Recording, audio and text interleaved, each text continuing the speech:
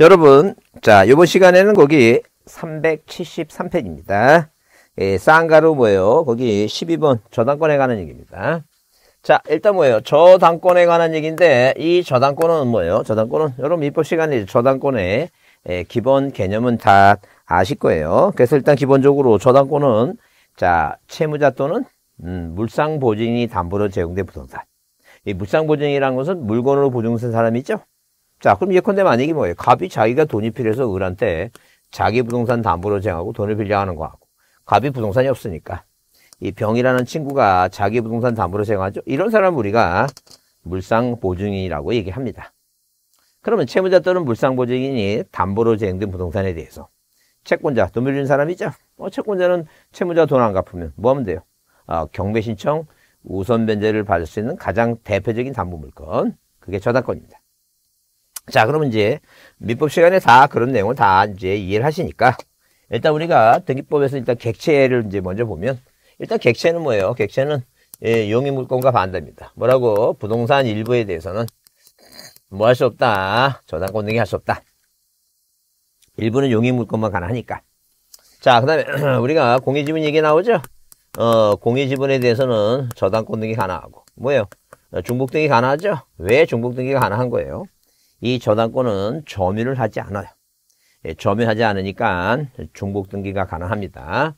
예, 객체 따지고 그 다음에 우리가 물건이 다섯 개 있죠? 어, 다섯 개 있으니까 자 일단 지역권은 유역지 소유권과 붙어 다니니까 일단 뭐예요? 소유권이 대상이 될 수 있죠?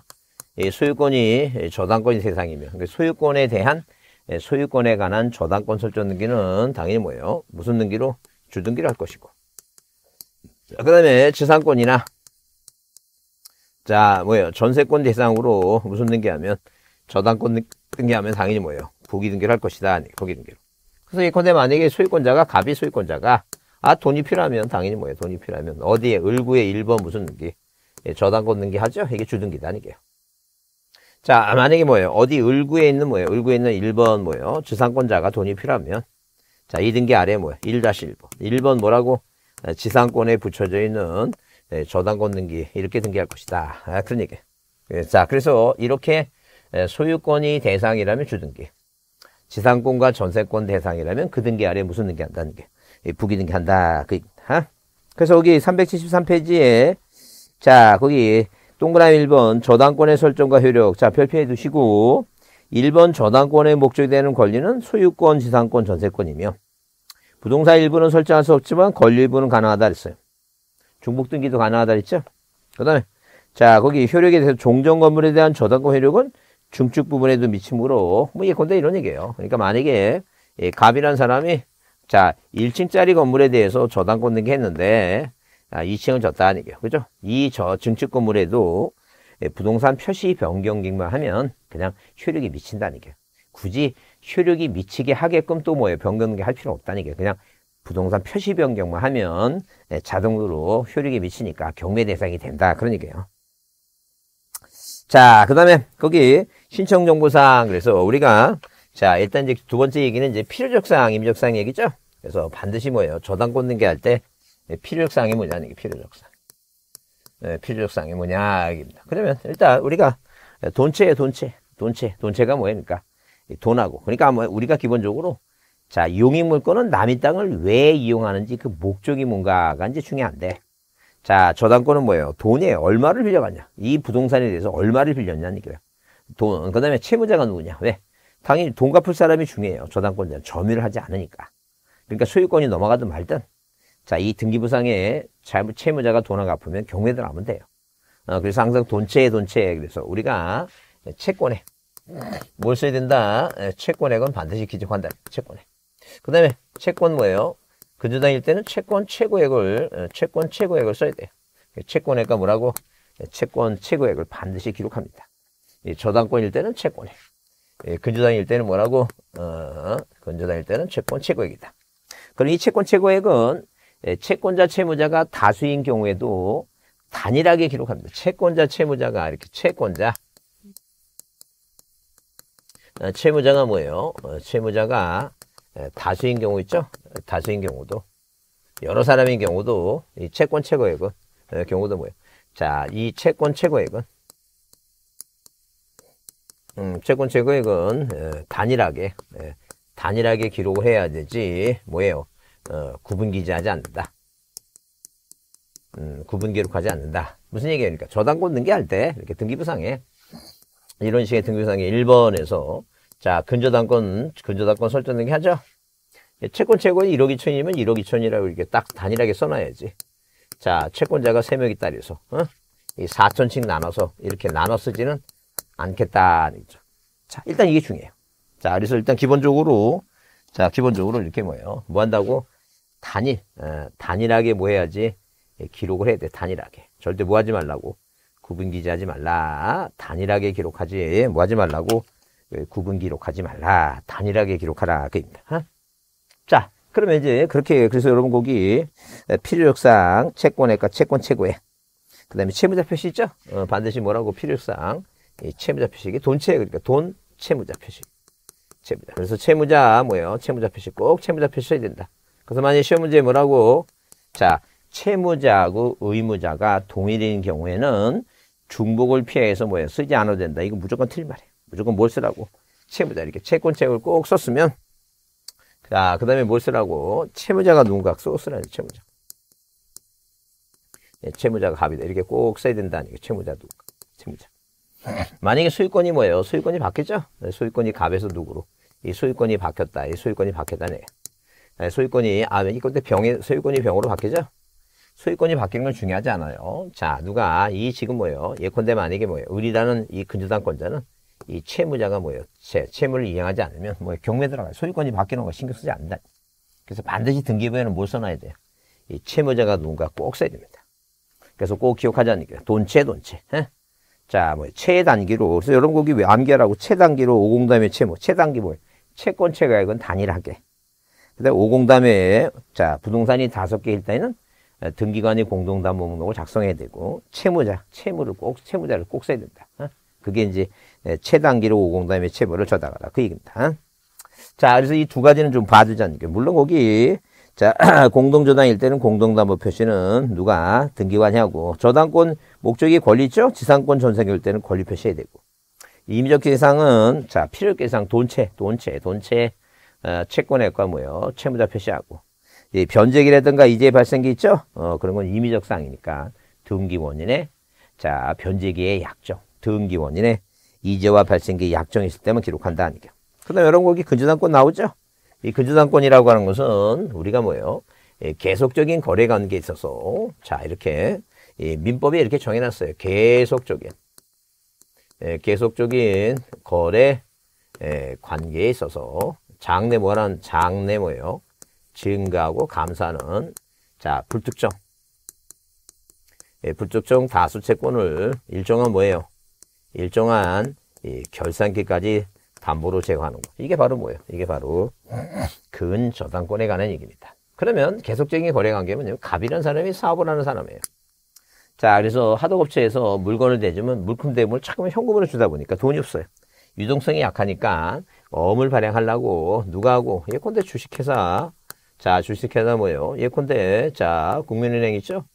에, 국민은행하고 뭐예요? 자 계약을 맺습니다. 기초계약. 예컨대 만약에 내가 어음을 발행할 테니 네가 뭐라고 지급하라. 은행이 얘를 어떻게 믿어요? 그래서 이제 갑이 부동산을 담보로 제공합니다. 그래서 채권의 채권 채권의 예컨 1억 2천만 원 한도 내에서 이렇게 채권 채권 정해놔.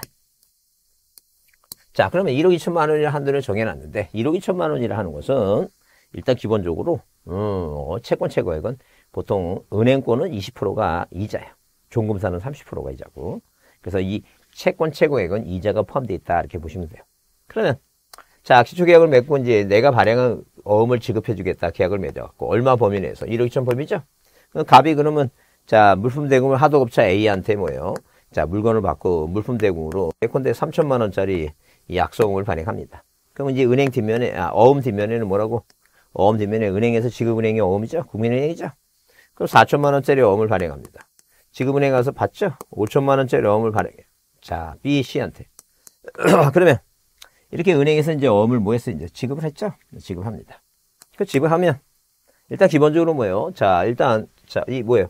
계속적인 거래 관계가 왜 어, 어음을 우리가 내가 발행할 테니까 지급해달라는 계속적인 거래 관계가 있죠? 장래 뭐예요? 증가하죠? 증가. 증가. 자, 어디? 3천? 4천? 그다음에 뭐예요? 5천 증가했죠?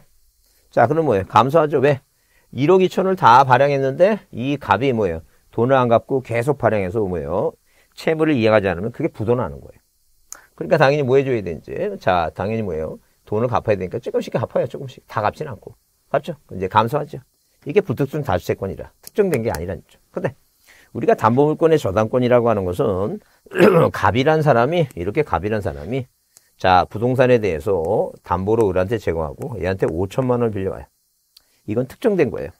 자 그래서 우리가 자 담보물권의 특성 피담보 채권이 소멸하면 저당권도 같이 소멸합니다. 우리가 이걸 뭐예요? 예, 부정성 뭐예요? 자 부정성이라고 얘기해요. 운명을 같이 한다는 게. 그래서 불가분성, 부정성, 물상대성 있죠? 어, 그러게. 자, 그래서 이런 식으로 자, 담보물권의 특성 때문에 부정성이라고 하는 게 있어요. 왜? 돈 갚으면 같이 소멸 한다는 게요. 수반성, 부정성, 물상대성 뭐예요? 불가분성 얘기. 자, 그러면 우리가 부정성이라고 하는 것은 운명을 같이 하니까 어, 부정성 종자가 있죠, 총. 어, 종. 어, 종, 종. 어, 이렇게 종. 그 뭐예요? 너 종 치고 싶나? 우리 우리 저희 때는 뭐예요? 너 종 치고 싶냐? 너 죽고 싶냐? 그런 얘기예요. 그 운명을 같이 한다는 얘기예요. 그렇게 그런 식으로 머릿속에 기억을 합니다. 아 그러니까 이 근저당권은 자 근저당권의 채권 최고액은 이저가 포함돼 있고 그다음에 뭐라고 부종성이 없다. 그래서 그런 건 뭐 민법에도 이제 문제가 나오고 그러니까 뭐 여러분 그렇게 이해하라는 게 부종성. 그러니까 여긴 특정된 게 아니라 불특정 다수 채권이니까 돈을 갚았다 해서 그 저당권 소멸되는 게 아니라 계속 일정한 결산기를 정해놓고 1년이면 2년 정해놓고 뭐예요. 증가했다가 감소했다 이게 계속 반복된다. 그 얘기입니다. 그래서 이제 일단 기본적으로 근저당권의 기본 개념을 이해했으니까 자 거기 기본 개념이 나오는데 부종성이 완화되어 있다. 부종성이 없다. 그렇게 얘기할 수 있죠.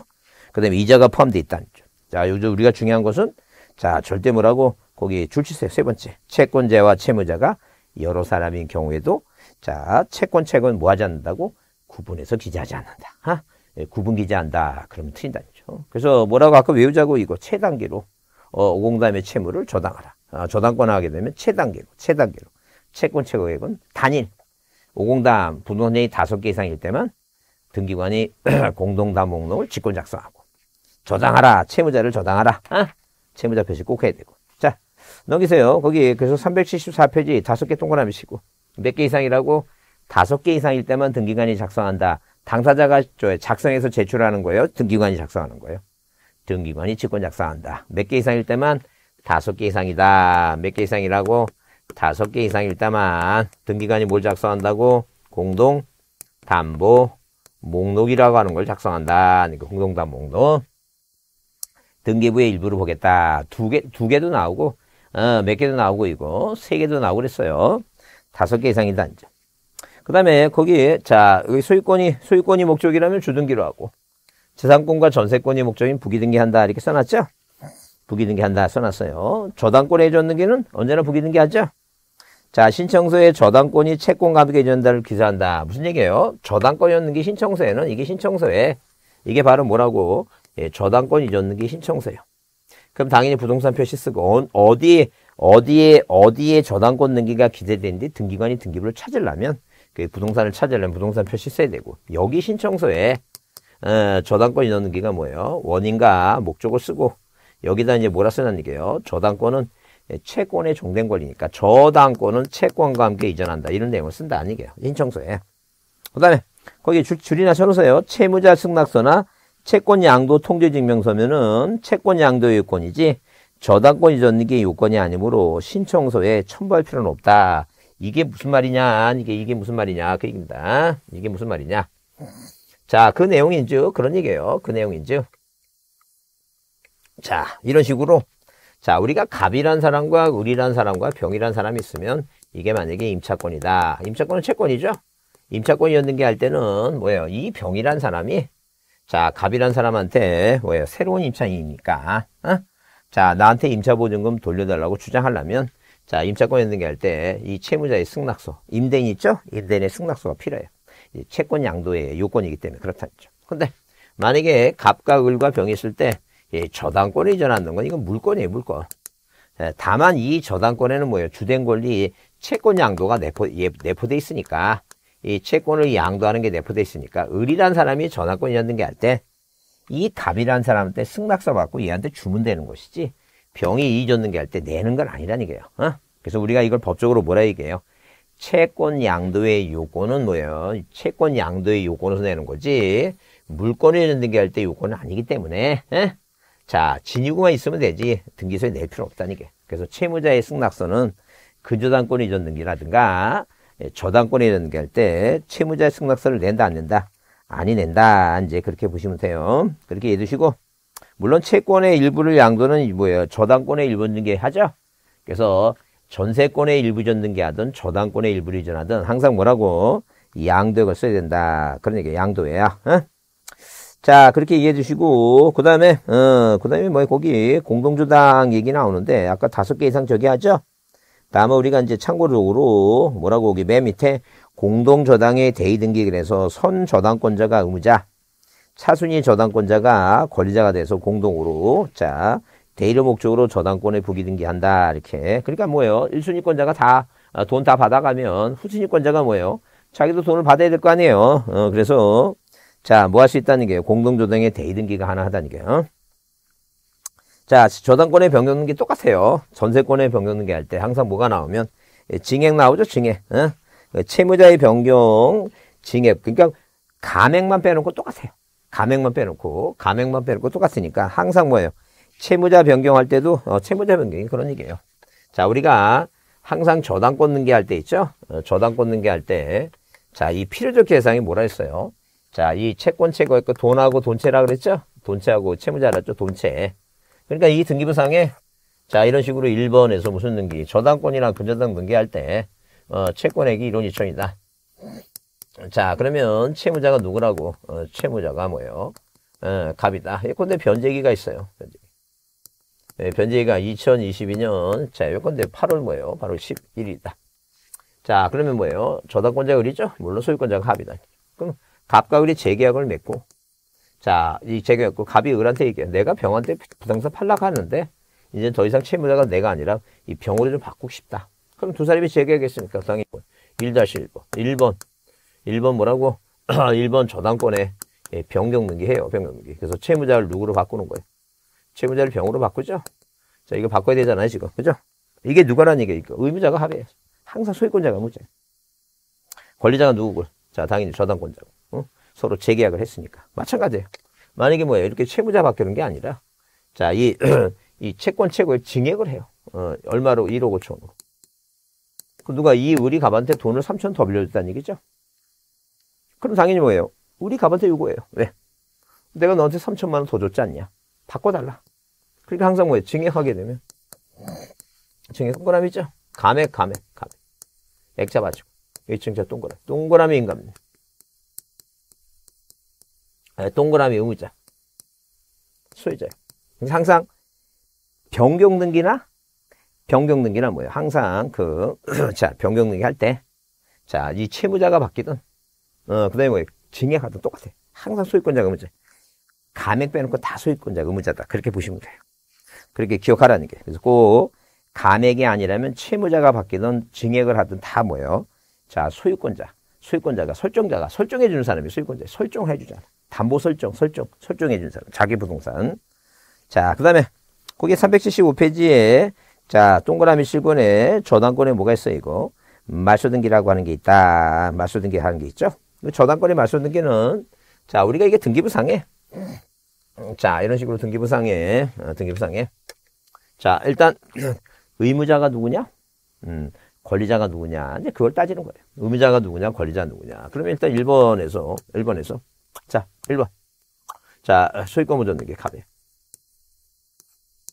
1번 저당권 등기, 근저당 등기. 그래요.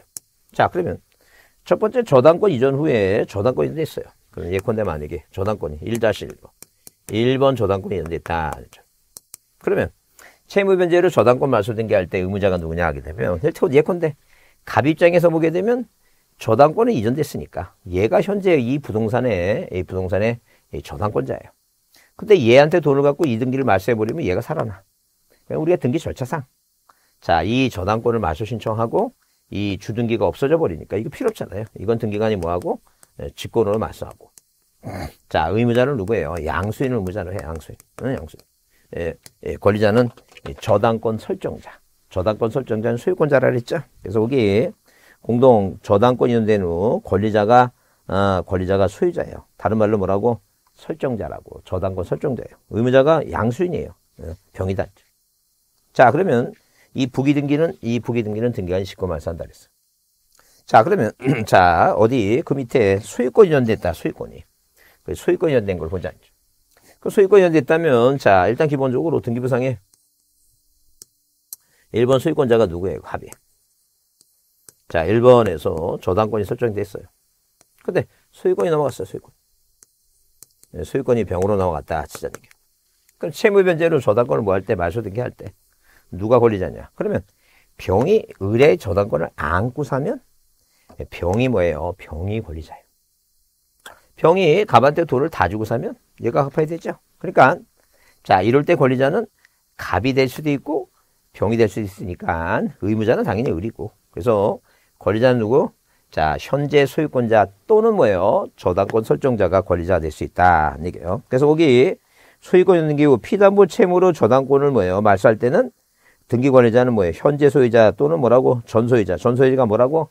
에, 저당권 설정자가 있다죠. 근데 이게 밑에 이제 원인 무효가 되죠? 왜 이게 그 갑과 을의 저당권이 원인 무효가 되면 당연히 뭐예요? 자, 이게 뭐 이 병에 대한 소유권자가 원인 무효가 됐으니까 자, 이 병에 자기 부동산을 뭐예요? 저당권이 무효가 된게 침해하고 있으니까 물권적 청구권은 병뿐이 없어요. 그래서 권리자는 누가 원인 무효가 되면 권리자는 현재 소유권자만 예, 권리자가 된다 아니게요. 그래서 전소유자는 당연히 물권자가 아니니까 청구권이 없으니까. 어?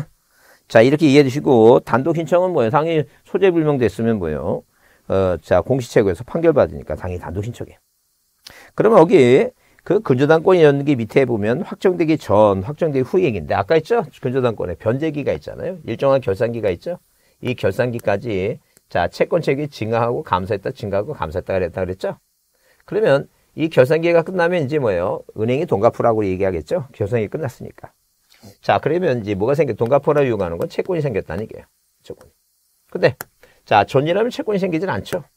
그러면 이 근저당권의 전등기는 전에도 할 수 있고, 자, 이 뭐예요? 결산기가 끝난 후에도 할 수 있죠? 변제기 끝나고. 자, 그럼 끝나고 하면 채권이 생겼으니까 원인을 확정 채권이 양도라고 써야 돼요. 근데, 근저당권이 전등기는 확정되기 전이라면 채권이 안 생겼으니까 채권이란 말 쓰면 안 되죠. 어, 계약 그 당시 계약 계약 양도로 쓰는 거예요. 그래서 거기 첫 번째 점 근저당권의 피담보 채권이 확정되기 전이라면 자 거기 이전 등기할 때는 뭐예요? 그냥 계약 양도라고 써요. 왜? 채권이 안 생겼으니까. 근데 그 아래 뭐라고 피담보 채권이 확정되기 후라면 이제 돈 갚아야 되니까 채권이란 말이 생겼으니까 원인을 몰아 쓴다는 얘기예요. 자 확정 채권의 양도라고 쓴다 그런 얘기예요. 양도로 쓴다는 점. 그 다음에 채무자 변경도 마찬가지예요. 채무자 변경도 이제 반대로 뭐예요? 확정되기 전에는 확정이 안 됐으니까. 자, 뭐예요? 계약 인수예요. 계약 인수. 그 전에 그 계약 내진 인수를 그대로 한다니까요. 근데 거기 확정됐을 때 이제 돈 갚아야 되니까 자, 뭐라 썼어요? 확정 채무, 채무. 무슨 단어가 들어가 있고. 채무란 단어, 확정 채무에 자, 면책적 책임을 면하는 인수 있죠? 어, 그런 단어로 쓴다니까요. 그래서 항상 기본적으로 자, 이전 등기할 때는 이전 등기할 때는 뭐예요? 후라면 채권이라는 단어가 들어가고 자, 뭐 채무자가 바뀔 때는 자, 후라면 뭐예요? 채무 변제, 채무, 채무, 확정 채무란 말이 채무란 말이 들어간다 이렇게 생각하시면 돼요. 그래서 항상 뭐예요? 전이라면 이전 등기할 때는 계약, 양도, 자, 채무자 변경, 계약, 인수 이렇게 전 왜? 항상 후는 결산 기가 끝나면 뭐가 생긴다고? 돈을 이제 갚아라고 하는 채권이 생기기 때문에 그렇다는 게. 그렇게 이해해 주자. 어? 자, 그 다음에 몇 페이지에, 그 376페이지에 임차권에 관한 얘기입니다. 임차권에 관한 얘기인데, 임차권은 일단 기본적으로, 자, 임차권은 우리가 보통 주택임대차법 보면 이제 시험에서 이제 뭐예요? 여러 민법에서 배우니까. 여기서 나오는 건 일단 기본적으로 불상은 임차권 등기할 때 뭐예요? 임차권 등기할 때는 자, 임차권 등기할 때 있죠? 항상 뭐예요? 필요적 사항 있죠? 필요적. 이 필요적 사항은 뭐예요? 필요적 사항은 자, 일단 차임이에요, 차임. 그래서 우리가 민법 공부할 때, 자, 지상권의 지료는 뭐예요? 지료는 요소가 아니지만, 필요성이 아니지만, 임차권의 차임은 뭐예요? 요소에 해당한다. 차임에. 그 다음에 범위 있죠? 범위. 범위. 자, 차임과 범위. 이 범위는 필요성이다. 그래서 여러분 그 책에는 어, 써 있죠? 옆에 써놓으세요. 자, 범위라 꼭 써놓고. 자, 임의적상 존속기간에 어, 차임의 지급 시기 임차보증금 있죠? 등기 원인의 약정이 있다면 자 무슨 약정? 등기 원인의 존속기간의 약정 등기 원인의 자 임차보증금 임차보증금 여러분 주의해 두셔야 돼요. 임차보증금은 자 그건 뭐예요? 자 정인이 임의적상이에요. 뭐 전세 전세금과 그 헷갈리면 안 돼. 임차보증금은 차임이 필요적이고 임차 보증금이 임의적이에요. 등기 원인의 임차 보증금이 약정이 있을 때만 쓰는 거예요. 그래야지만 등기사항이 있다. 자, 그 다음에, 자, 그 다음에 이제 그런 내용. 그래서 일단 우리가 기본적으로 뭐예요? 필요적 사항을 이제 받으시고, 자, 완전히 이거 써야 되고, 임의적 사항은 뭐예요? 임의적 사항은 반드시 무슨 단어가 등기 원인에 뭐예요? 원인에 뭐가 있을 때만, 약정 있을 때만 써야 되고, 자, 약정 있을 때만 기록해야 된다고. 그럼 약정 있어 기록하게 되면 이게 무슨 사항이 된다고? 등기 사항이다. 이렇게 보자죠. 자, 그 다음에, 자, 주택의 인도하고 뭐예요? 주택의 인도 플러스 주민등록 신고. 예, 상가의 인도 플러스 뭐예요? 자, 사업자 등록을 하죠? 자, 그러면 주택의 인도, 상가의 인도 하게 되면 이게 점유를 해야 돼요. 존속기간이 끝났어. 존속기간이 끝났는데 임차보증금을 돌려주질 않아요. 자, 그러면 점유를 이전해 버리면 이사가 버리면 예, 두 개가 자, 이 두 개가 요건이 갖춰져면 그 다음날 뭐가 생기는 거예요? 대항력이 생긴다는 거예요. 뭐가 생긴다고? 예, 대항력이 생긴다는 그럼 대항력이 생기니까 어, 자 만약에 요건이 하나 빠지면 이사가 버리면 대항력이 상실될 수 있죠. 그래서 이제 뭐예요? 그래서 항상 기본적으로 뭐예요? 이렇게 문제가 되니까 어, 문제가 되니까 이 민법 몇 조는 민법 621조는 임대인의 반대 약정이 없다면 집주인이 반대를 안 한다면 예, 존속 기간이 끝나고 자 당연히 뭐예요? 임차보증금을 돌려주지 못하는데 어, 회사를 전군 가야 되니까 이사 갈 수밖에 없으니까 뭐예요? 자 등기부상에 무슨 등기 해놓고 1번 주택 임차권에 무슨 등기를 임차권에 설정 등기를 해놓고 나서 이사 가면 돼요. 어? 근데 이 법의 문제점이 뭐냐면 임대인이 죽어도 못 해주겠다 하게 되면 자 그 부동산 절대 우리 우리 등기법에는 자 이 소재지 관할이에요. 주소지 관할이란 말이 나오면 안 돼. 그래서 항상 이 소재지 관할 법원에 주택 임차권의 등기 명령을 해갖고 등기소에 뭐예요? 주택 임차권에 뭐예요? 이 등기죠. 왜? 설정이라 말이 들어간 건 예, 자, 민법 621조에 한 거예요. 항상 이거는 촉탁 등기는 어, 이 주택 임차권이라서요. 그러면 자, 이것은 뭐예요? 이제 법원의 법원의 촉탁에서 촉탁 등기죠?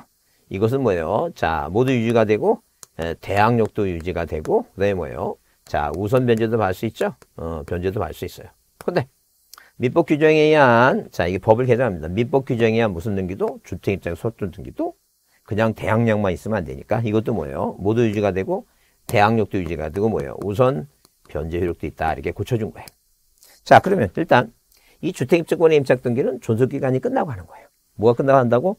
존속기간이 끝나고 하는 거예요. 그래서 우리가 이 용익물권, 지상권, 지역권, 전세권, 용익물권이나 물권은 아니지만 임차권에 임차권은 용익권의 성질을 갖고 있으니까 존속기간이 끝났다면 이것은 뭐예요? 권리가 이미 소멸된, 소멸된 거니까 자, 이렇게 소멸된 권리, 주택임차권의 등기명령 축탁은 이미 소멸된 권리, 소멸되고 나서 자, 어떤 기능 때문에 이런 대항력이란 우선 변제는 기능 때문에 하기 때문에 자, 이 등기를 기초로 해서 이전 등기를 할 수는 없는 거예요. 그래서 여러분 거기 자, 어디에 그 376페이지에 자, 임차권의 설정 필요성좀 봐주시고 임차권의 이전 등기 있죠?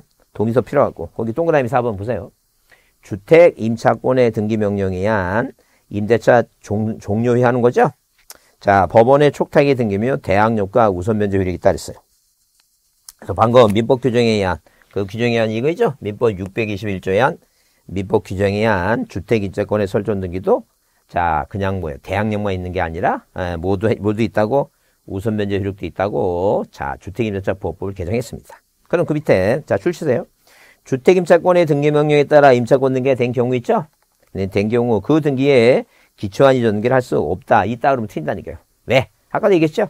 이 임차권 등기가 뭐예요? 존속기간이 끝나고 한 거니까 자 당연히 뭐예요? 효력이 없어졌다니까요. 다만 기능적으로 뭐 때문에 하는 거라고 등기부에 써 있는 것은 대항력과 우선 면제 때문에 하는 거니까 어? 당연히 뭐예요? 그 등기는 효력이 없으니까 이, 이 기초를 이전등기 할 수는 없다. 그런 얘기. 어? 꼭 이해해 두시고 그 다음에 거기 377페이지에 거기 각종 권리 필요성 쭉 써놨죠? 어, 그래, 써놨으니까 그거에 별표해 주시고. 자, 거기 헌매 등기 작년에 나왔죠, 이거. 매매 대금, 매매 비용. 작년에 나왔으니까. 자, 항상 뭐예요? 이 기간은 뭐예요? 기간은 임의적입니다. 기간. 그래서 지상권의 목적 범위, 지역권의 유역지 성역지 목적 범위, 전세권의 전소, 전세금과 목적인 범위 있죠? 예, 저당권의 근저당권의 돈채, 아, 돈채, 돈, 채권액, 채무자 표시 있죠? 임차권의 차인가 범위, 그 한번 좀 봐두셔야 돼. 어? 네, 봐두시고. 자, 그래서 오늘 여기까지 마치겠습니다. 마치고, 자, 다음에 이제 거기 각종 등기관 절차 있죠? 진행하겠습니다. 수고했습니다.